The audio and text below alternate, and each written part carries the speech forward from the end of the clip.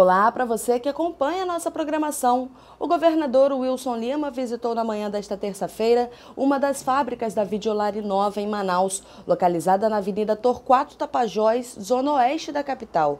A unidade produz itens importantes na cadeia de transformação de plásticos, como tampas para água mineral e refrigerantes e filmes de polipropileno biorientado.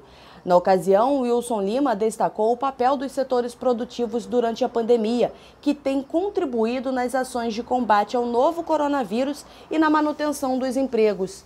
De acordo com ele, segmentos como a indústria e o agronegócio serão fundamentais nesse momento de retomada das atividades econômicas no Estado.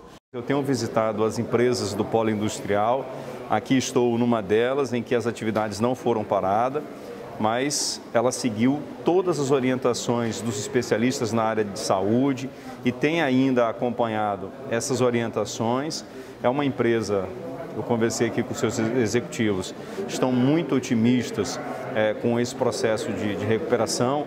Foi também uma empresa que nos ajudou no momento da pandemia com a doação é, de alguns insumos, sobretudo é, para as unidades hospitalares, para a central de, é, de medicamento. Então a gente já vislumbra esse novo momento de recuperação das atividades econômicas e aqui, sobretudo, da manutenção dos empregos que são gerados por aqui.